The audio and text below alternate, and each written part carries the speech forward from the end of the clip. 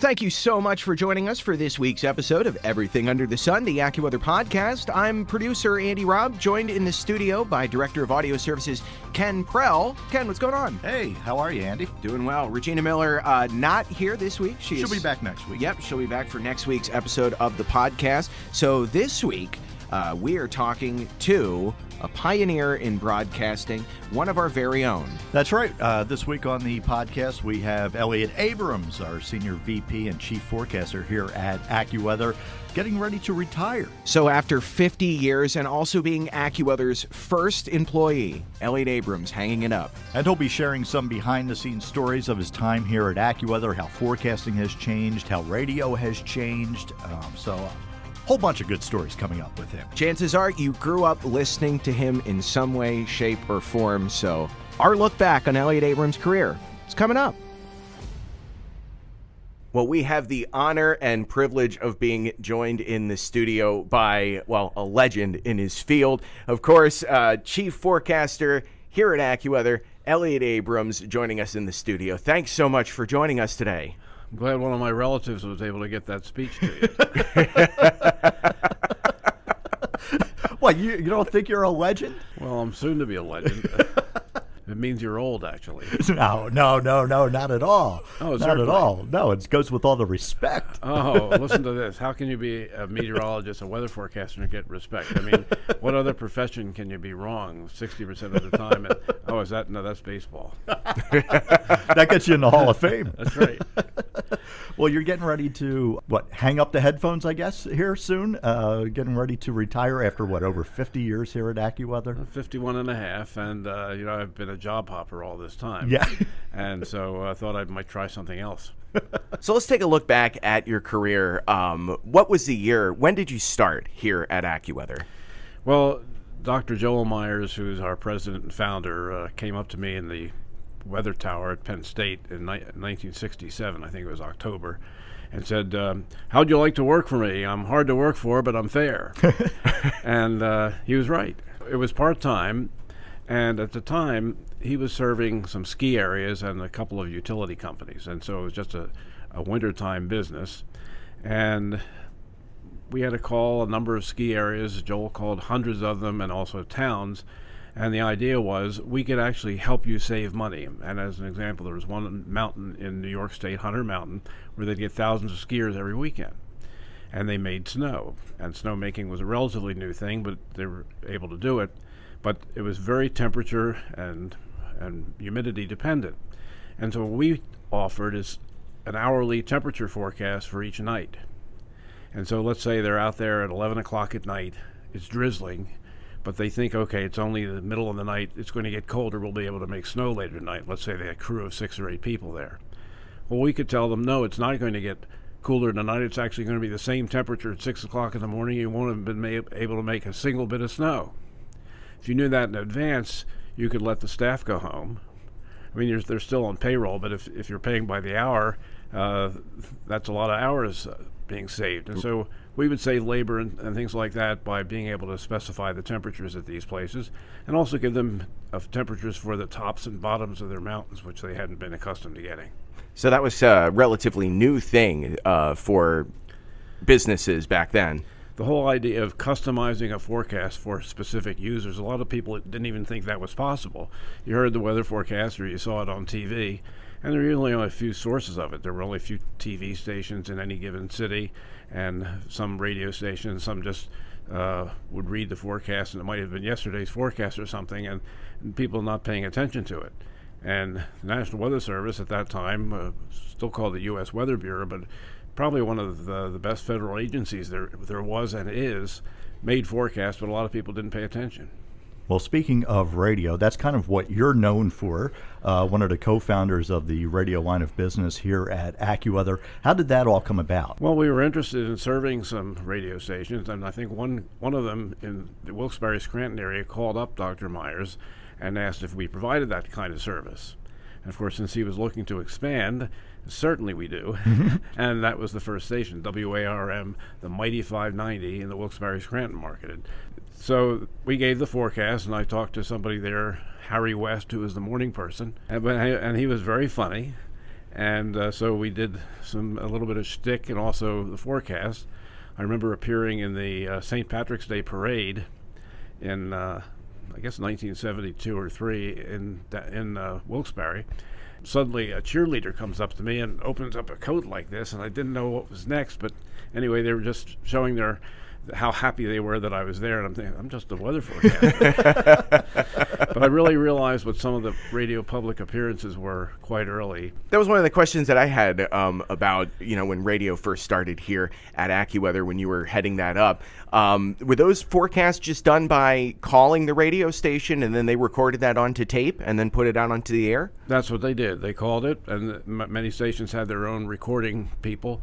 So we recorded it, and the engineers then had to their art was being able to be friendly to you when actually they're quite upset that you were taking so many takes to get the same thing done. Like mm-hmm. if you if you go halfway through it, you had to redo it. There was no there was no real good editing and splicing. You had to actually physically splice tape together. It wasn't like we do like it's done now digitally, and which fortunately you'll be able to get rid of most of what we say right now uh, before this actually is seen or, or, or we're or, keeping or it all. uh, so that's how you called it in. And so we actually wrote the scripts by hand. And then a few years later, we actually got some typewriters, and they were pretty noisy. So if you had 15 forecasters making it, would sounded like a quite a busy place. Yeah, making the forecast. When we first got computers, the difference with the, with the keyboards was huge. Yeah. Did you have to type them up yourself, or were there? Oh yes, we we typed them, and then uh, we read them and some of them were even archived. Uh, one that I wrote in the mid 1970s was my Turkey Day forecast for Thanksgiving, where I talked about the turkeys warming up in the oven to a high of 190, and then cold front of a knife slicing through the turkey and causing it to accumulate one to two inches on plates, and how there would be uh, mashed potatoes and and uh, it would turn into green bean casserole, slippery spots on the plate, and uh, that later there'd be leftovers and, and lots of flurries of, of sandwiches. You know, you were always known for for your humor and, and a unique brand of radio. When did you start to develop that as part of your profession? I'm not really sure. I know I was a weatherman at a class play in second grade, and some people used to give me a hard time when I was in the Boy Scouts if I predicted wrong for the weekend, which always happened. and so uh, maybe it was a defense mechanism because the more I could talk in some humorous way about something that wasn't directly related to that forecast, the less time there was to actually realize the forecast might not be right. and so it was entertaining at least. So always kind of leave them laughing a bit. Leave them laughing. But also, you also wanted to provide a service. I, I always thought to myself, wouldn't it be nice to save somebody's life? Yeah. I actually got a call like that once in the late 70s at the station in York. Somebody called. They had this thing called travel weather mm-hmm. every day at 9:15, and people would call in and say where they were going, and then the air person would ask us what's happening from Phoenix to Los Angeles or what's happening from uh, Atlanta to Miami. So one time I was talking with about something happening in the southwest part of the country, and I said that the days that they were going, there could be some significant storms and perhaps even some flooding of some of the dry gullies that were through there. And the person, when they got home, actually called WSBA up and said that they thought that I'd saved their lives because they encountered one of these situations and avoided a particular route that they later found had been flooded and people were killed at that time. Wow. What, what, what did that, how did that make you feel? Well, I felt you know great for the moment, except we had to make the other forecast for for that day, which might not be so great. But more recently, um, AES, one of our the division of AccuWeather, was able to save a train crew in Mexico when they realized that there'd be flooding. They actually told the train operators to uh, stop at a particular milepost, walk out ahead, make sure the tracks were still there. And indeed, when they did that, the tracks were washed away. They'd have all been killed if that forecast hadn't been so accurate. And this was just recently. Well, as you look back on your career, is there a certain storm that uh, you remember forecasting or, or something behind the scenes that really stands out to you? Post storm traumatic syndrome? well, I do. Uh, Agnes in 1972. Because um, for one reason or another, uh, Dr. Myers was out of town, so just a couple of us there doing the radio broadcast. And WARM in Scranton, that our first customer, wanted us on the air every 15 minutes talking about the flooding. Now, in a way, it was easy because all you had to say was going to keep raining. and the flooding was going to be terrible. Mm-hmm, mm-hmm. But every 15 minutes was something that we didn't generally do in addition to our other calls. Now, today there are lots of live reports. But so being on there and, and hoping to be helping people, one of the things in the Agnes situation, we also had a construction company we were serving that was building two dams in central Pennsylvania. Mm-hmm. And we had advised them a few days before that if they valued their equipment, they would want to get it out of the lowlands before the storm came because the flood would wash away or, or ruin it. And they told us afterwards that we saved them millions of dollars just by Wow. making that suggestion. But with that flood, in those days, the National Weather Service forecasts of floods did not really incorporate additional rainfall that was going to be occurring. It was only the rainfall that had already fallen into a river basin. And so, if it was going to be a long storm like Agnes was, a lot of that rain wouldn't be accounted for. And so, the flood stage forecast they had to estimate in some way. And then today they they do it much in a much better fashion. But the natural river level, I think, was 22 feet for flooding. But if you saw a stage predicted of 26 feet, that wasn't mean you. That didn't mean you go on the air talking about terrible flooding. There, they had dikes protecting Wilkes-Barre up to 38 feet. Now those were then surpassed by the storm. The river came clear over that and flooded the whole downtown area. And so, every 15 minutes, we were talking about that situation unfolding. Do you uh, and you still do uh, currently, as of right now, as we're as we're counting down your career, th- there are still stations that you still do live appearances for, correct? That's right. Uh, Chicago, for example, on live each hour during the morning at uh, 13 minutes after the hour. And during storms, and this morning a storm was just winding down at the end of the network news. We have a short report about what's going to be happening, and then again at the bottom of the hour. And a number of stations do that, and we have uh, all our meteorologists are, are trained to be able to, to make reports that are much shorter, for example, than this podcast. You may only have 20 or 30 seconds to talk, and you have to explain what's going to happen so that people can make better plans for their day. Yeah, that's been one of the things that I think that you've probably seen uh, in your career on the radio side of things. Everything getting shorter and shorter and shorter. So how do you go about getting out that the most uh, pertinent information, the most important information to the listeners when you have now a limited amount of time? You talk real fast. That's it. Don't talk. don't talk long. no, but has it been a challenge? Uh, uh, Yes. we have all the time in the world to talk here on the Oh, podcast, so you okay. we don't need to keep these to one word Well, answers. then, wasn't there an, a bit where they once did the Slow Talkers of America routine? I don't They know. did. It was old time radio, and they said they talked slow. it, it went on, you know, all those things. But yes, uh, uh, the shortcuts and just sort of like the the live th- thing you see on TV, where somebody says a few words and hopefully it made sense when they were talking. That's one of the questions that I wanted to ask because, you know, uh, as we're all radio people here, but for somebody that may not know, um, you as a forecaster, as a broadcast personality, when you have to get pertinent information out over a radio broadcast, you only have a certain amount of time. How do you uh, discriminate, so to speak, uh, the information, what goes out and what doesn't go out? Or what makes it easiest for the listener? We have to parse it. The first thing I think about before doing anything in the morning is what does it feel like if I live in Chicago?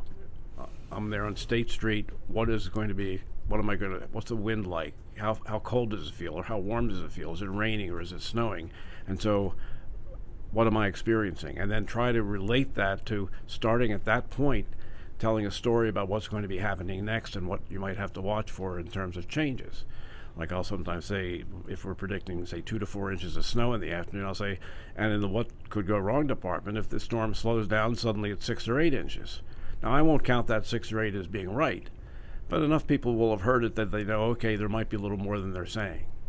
Here's the potential for what this can do. So, you know, take those extra steps, be a little bit more careful. In fact, a relatively new product at AccuWeather is a, a map that shows expected snow amounts, and we have this thing called the AccuWeather Storm Max. The accumulation might be expected to be three to six inches, but knowing the nature of the storm, maybe it gets much stronger than expected. What is the maximum we could conceive of it happening? And so the storm max might be 13 inches or so. We don't expect that. We're not predicting that at the time, but that tells you the limit of what seems possible with a storm of that size. Well, as you look back on forecasting, let's get away from radio here just a little bit.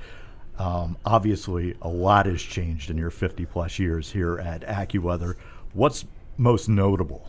So many things. Uh, in those days, we actually didn't have personal computers. If you were, took comp sci in college, you wrote your code on these cards and then turned them into the computer operator, and they put those cards into the computer. And if you typed one thing wrong, spit it back out and didn't produce anything for you. And the cards were sort of novelty. They also used, for example, when you would, uh, at Penn State, for example, when you would register for a, a, particular gym class, like, say, bowling or, or softball or whatever, you had a, one of these cards. And that card would then have the information encoded on it. And I remember the person standing in front of the whole group saying, Students, do not pick your teeth with the cards. do not bend, fold, spindle, or mutilate these cards. These cards need to be read by the computer so we know which section you're going to. So do not fold, spin, or mutilate the cards. And people were probably doing that. Folding, spinning, in. Yeah. That's right. But how much has uh, forecasting improved? It's really gotten a lot better. A forecast that we might have made for 24 hour period. Um, t- today we can make one out for sometimes four, five, six days that's that accurate. Unfortunately, there are some times when we're making a forecast for an hour from now, mm-hmm. and we can't make that accurate. For for example, when thunderstorms are developing, and we believe there will be severe thunderstorms, but they're none in existence right now. What's the first lightning strike? We can't actually predict what that's going to be. Once we see the pattern of lightning, then we can make a forecast of it, and we can see it almost instantaneously. That's the other thing that is so big now. You can see information from any just about anywhere in the world almost instantaneously. Same with news. When when George Washington won the Battle of Trenton in the early part of the Revolutionary War, they didn't find out about that in, in England till weeks later. The mm-hmm. information had to be written down by hand and taken over on a boat and then handed out to the newspapers it wasn't like today where you'd have found out five minutes from from now and they'd have live coverage of it. Everything took longer, mm-hmm. and there's some good and bad effects of that. The one bad thing, unfortunately, is that people do can do bad things that affect others much more quickly and and disastrously than back in those days. In and, fact, and spread misinformation. That's right. Yeah fake news and hopefully mm-hmm. not fake weather. Yep. but I know with the with the revolution, when the British evacuated Boston in uh, 1775, uh, one of the illustrations of it is a painting someone made of the boats being loaded, getting ready to leave. In a war today, you couldn't have somebody sitting there make rendering a painting. Just painting, yeah. all the bombs are raining. It's just it's, it's just different. Do you feel like with the with how information is spread quickly, does that feel that you have a more of a responsibility to help improve your messaging, not just as a forecaster, but also as a broadcast personality?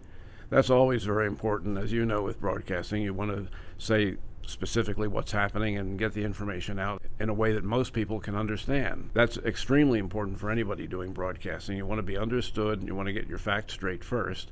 And so you collect your information and then you talk. And sometimes you speculate about things. But uh, with weather information, there's so much happening around the world that you really have to be in tune with what's happening in each place that you're forecasting for. Mm-hmm. Is there snow? Is there ice? Is there fog? Is something changing very quickly? Is something different now than it's going to be? What's it going to be like when the kids get out of school? What's it going to be like for uh, soccer parents who want to go to a game, watch the game, or or little league games? There, are all these different things that people are doing. We want to be able to be relevant to them. The longevity of your career has been fascinating to me. Absolutely fascinating. Same here. You've chosen to spend your entire career here at AccuWeather. Why? Was there ever an opportunity to, to make a jump anywhere else? That's a good question. actually, uh, my first thought was to become a, a TV weather meteorologist, mm-hmm. and I mm-hmm. actually was on Penn State's uh, Weather World for about 30 years. It was like one week at a t- one week uh, every month or two, and in 1971, actually, a couple of years after I'd started working for for Dr. Myers, uh, a station in Pittsburgh offered me a position of doing the weather at six and eleven. Really? And one and on this particular day, uh, Joel was upset about a forecast I'd made earlier in the day, and I said something like, "Well, if, if you don't like it, I can leave." He said, "What do you mean?" and I told him exactly that. He said, "What? Really?" And he took me to lunch that afternoon, Wow. and uh, that's when we decided that I was going to stay and be his associate. Wow. What are you going to miss the most about being here at AccuWeather? I'm going to miss the people I work with every morning. Um, many of them are just starting their careers. And I must say that the ones, the people that we've hired, say in the last five or ten years, I think are, are better workers than ones we may have hired ten or fifteen years ago. Even though they, the ones that are still here are great now, but they come with an attitude. They get to work. They want to learn as much as they can, and they want to be as productive as possible. And that's something a lot of people don't realize about today's people coming just out of college. Now, it's said that for that millennials and after always like to be praised, and you you do want to try to be positive because you heard about that. Uh, that that was the attitude before, and I know with our kids, we wanted to always give them encouragement and never tell them that they were bad. What they did might have been bad, but not that they were bad. And so that's something that we try to to, to do at AccuWeather in our training programs. Encourage people to do better. Let us know when uh, if you have a particular interest in something that you're not doing now. Uh, can I be scheduled for that? And we have a long history of hiring within for and, and giving people uh, different positions as they advance. And so I, I really like that aspect of it. But I like I really like the people I work with. There's a lot of people that have come into this place over the last few years. This place has grown quite a bit. Does it ever amaze you when you take a look around f- compared to when you started here at AccuWeather to where it is now? Yeah, to be the first employee and now see for- over 500, 500 employees. No, it, it happens so gradually. It's kind of like quicksand, I guess, or or a, a slow rising flood. I mean, it doesn't come on all at once, and it just sort of happens. But I actually believed at the beginning in talking with Dr. Myers that something like this might happen, that it might really expand. He was certain that this could be done. You don't meet that many people that have that kind of conviction and drive early on in in your experience. People might have some ideas and might sound like wild ideas. Some might have good ideas, but uh, some of the people who built some of the greatest companies must have been that way. Tell me a little bit about that. When when the very very early on, you said you you you were speaking with Dr. Myers. You had a good feeling about you know, and you both were in agreement that this company could grow into something. How did all that come about when it was going through your mind? Well, I'd heard of some uh, called private weather services that existed back then. Some had formed right after World War II, and they made customized forecasts. But there was a general belief that this field really had a lot of opportunities that people didn't realize. I mean, could you really tell somebody, for example, who owned a bakery, uh, could you give them a forecast that would help them plan their runs of, say, hamburger and hot dog rolls on Friday night and Saturday night? I mean, such a thing. Could you make a forecast like that? Well, we actually did for a number of years for a bakery in Philadelphia. Uh, they told us first you find out what their needs are, and this company said, "Well, we found in the past that if it rains on Friday night, people don't buy hamburger and hot dog rolls because they sort of suspect it might be a wet weekend, and they may not barbecue that weekend. They might not put on the grill. But if it's dry on Friday night in the summer, that's a good. They feel good about that. It's dry out. We're going to have a picnic or, or, or broil some hamburgers or some fish. So they would base their runs of hamburger and hot dog rolls based on the forecast. Because if it was dry that night and people bought a lot of them, if it rained Saturday and Sunday, that was immaterial really to the company. They felt sorry for the people who'd bought all the rolls, but the, the people had the rolls, not the bakery, not the stores. Mm-hmm. And so if you could do that accurately, that was important. Also for freezes and things like that in Florida or Texas. If it was going to be going below freezing, there would be ways of protecting the crops by doing some spray irrigation or whatever uh, to keep the cold air from settling at ground level right in the middle of the, the grove. So, looking at those things, and today there are so so many things are computerized that, for example, let's say you're a, a trucking company, um, you know what the time between all your routes are. Let's say there's going to be a storm along one of the routes. They can change what loads they're putting on different trucks and change the timing just like that, so that the routes are still operating. And, and companies do this all the time, but they may not realize that a weather forecast can be tailored to that that closely. So the whole aim of it was to make people's lives easier in different walks of life, in different in different sorts of businesses, in different career professions. That's right. Have you ever considered uh, sales? Me? Yeah, No. that sold me. We were talking about the, um, you know, you'll miss working with the people. Is there any advice that you have for uh, newer forecasters or kids listening who want to get into meteorology? Yeah, for kids wanting to get into meteorology, concentrate a lot on the math and physics, because whether or not you're, if you're a pr- practitioner in the field uh, doing forecasts, you may not use that every day, but you have to do it do it well enough to get through the curriculum in college. And so you may as well do as best as you can, and also uh, learn to speak and write well because that's important in just about anything you'll go into. And get along with people. If you don't get along with people and, and can't be a positive influence, who wants to work with you? Exactly. So that, that kind of thing. And in the job, just pay attention to the people who are training you and try to do the best you can with the assignments you have. And pretty soon you're going to see that there are other opportunities. Maybe I'm good at forecasting for California. Maybe I'm really good in talking to somebody about what's going to happen at their location so they make better decisions. And I go to the, maybe my supervisor and I say, I, I'd like to take a, a shot at doing this kind of thing. Maybe I'd even like to broadcast for the radio or, or be on TV. Mm-hmm.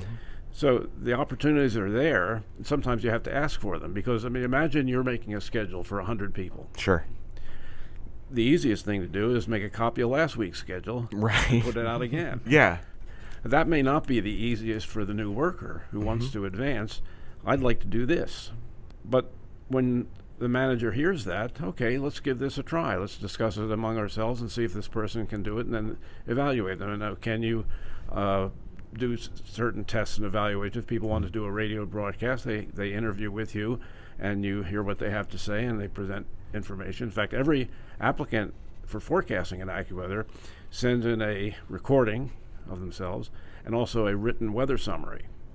And historically, I've been the one grading those. I have no idea. I haven't met the person, so I'm not in the interview process. So it's like a, a different source of information. And then I pass it on to Dave Dombek, who is our manager of, of forecaster hiring. hmm And I get those audio, so it's the same right. way. It's a, that's all you're getting is the audio. So that's, So- basically but you all can you're often getting. tell off. if somebody isn't paying attention to what they're saying, or it doesn't make any sense. Like snow tomorrow will accumulate four to six inches, high 47. I'm thinking, about, wait a minute. That's Something not going to happen. Do they Yeah. realize that 47 is 15 degrees above freezing? It's not going to stick. Yeah. Mm-hmm. Yeah. Now, if they say high tomorrow 47, but when it's snowing in the morning it'll be 32, then I, okay, here's somebody that thought this through. You just didn't read the high for the, high for the day, o- offered different information. It sounds subtle. They might have predicted the exact same number for the high, but by adding that other information, they showed that they knew what was happening. It's all about the communication. That's right, and also the way they talk, speak, and yes. You were asking before about some of the things in the early days, and since there were no big computers, there were basic computers, but there weren't personal computers. Mm-hmm. And so, how did we get radar information? For example, when I'd be in a radio booth and I wanted to see the radar, we had these little fax machines, and the fax machines printed out pieces of paper that weren't much bigger than post-it notes Of, of, of the radar. of the radar. Wow. and they came out of the machine. Took only a few minutes to get one, but you had to dial them up independently. And we also had regional maps because we had to plot these maps, and there was actually a job title at AccuWeather called Map Plotter. You had to plot one of these maps in about a half an hour. If you've never done it before, reading and decoding all the information and and plotting it neatly might take you two hours. But the really fast ones could get it down below a half an hour. Now today the computer does in a few seconds. But with the radar, we had those blank maps sitting there. And so I thought, well, why don't we put these like post it note radars over the places where the radar sites are?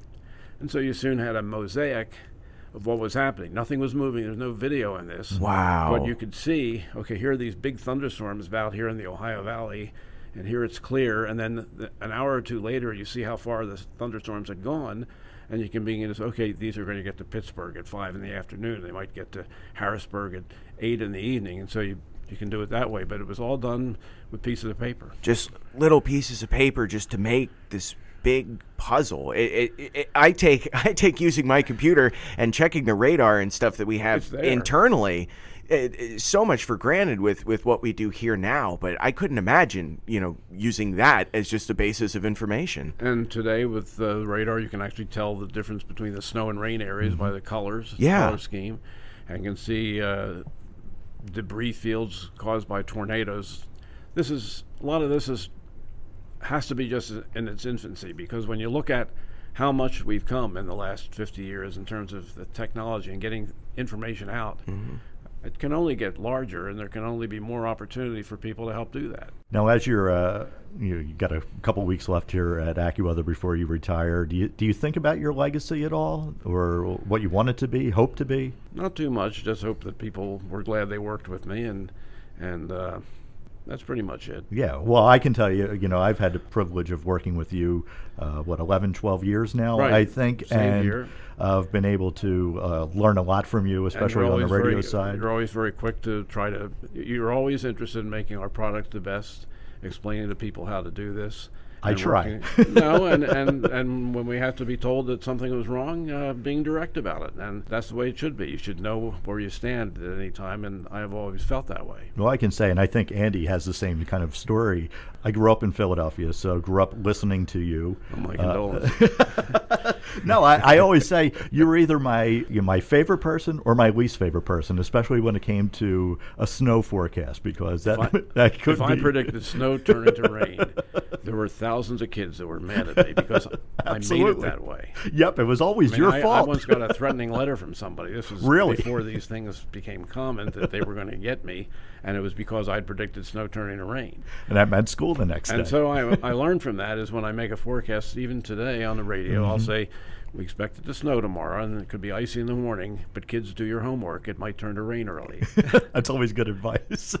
And that I, I got to say too, as well, going off of what Ken was saying, that was the first time that I was uh, experienced, you know, that I that I got to hear you was when I was a kid and I listened to you on Philadelphia radio, you know, talking about the snow and you know when my school was going to be closed and you know just to the fact that like I got to come here and, and, and get to work with you and be around you and, and now like here I am eight years later, I'm sitting across the table from you. Head swelling. it's it, it, it, really is remarkable and you know to just to just be here and to be speaking with you to learn about about your career and how much that you've contributed not only to not only to AccuWeather as a company not only to forecasting but also you know from from somebody that's a broadcaster to radio broadcasting it's just it's it's incredible Well, I appreciate that. I felt that way about some of the people I work with. One of my first part-time jobs was at the Franklin Institute in Philadelphia, and they had a weather station.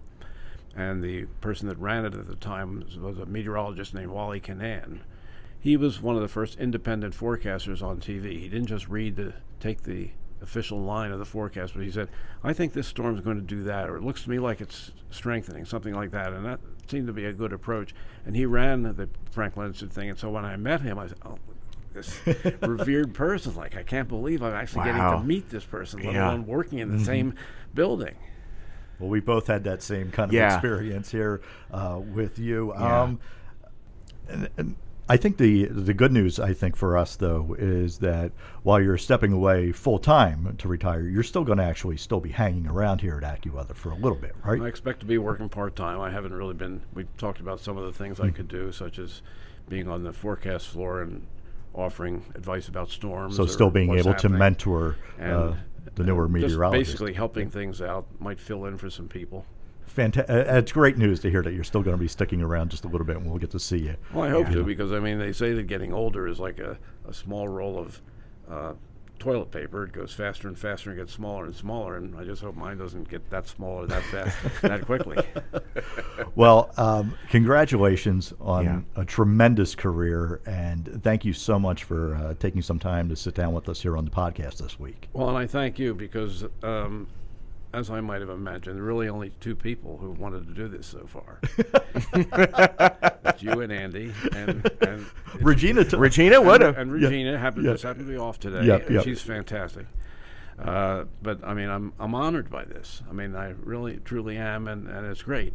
And there's some people over here that are taking our pictures and recording all this, and we'll have to splice it up and try to make some sense out of it. I, I, I appreciate them too. well, thanks so much, Elliot, and good luck with everything. You're welcome. Have the best day you've ever had until tomorrow. You too. And sincerely from from us here at the podcast, but from you know everybody here at AccuWeather, our big thanks to you know our friend, our colleague Elliot Abrams for sitting down with us and talking about his career. It's going to be weird not having him around here every day. Well, like you said, he is actually still going to be hanging around mm-hmm. in, in, a part time capacity. And actually, I think we already got him lined up for another podcast coming up in March. Yeah, so. yeah, he's already asking us about you know future appearances. So yeah, we'll have more with Elliot, and uh, a big thanks to him for for a great career here at AccuWeather. And uh, next week, well, Regina Miller is going to be back and another special guest as well. We are going to be joined with not only uh, Dave Dombek, who's been on the show plenty of times, but we're going to be joined by WPVI in Philadelphia's chief meteorologist, Cecily Tynan, is going to be talking about how the business has changed in the Philadelphia market and what their partnership with AccuWeather means. Yep, and that's coming up next week, so make sure you tune in. Thanks for listening to this week's episode. Be sure to subscribe to AccuWeather's Everything Under the Sun, giving you the stories behind the weather and so much more. New episodes every Thursday. Just search for AccuWeather on Apple Podcasts, Stitcher, Google Podcasts, or visit AccuWeather.com slash podcast.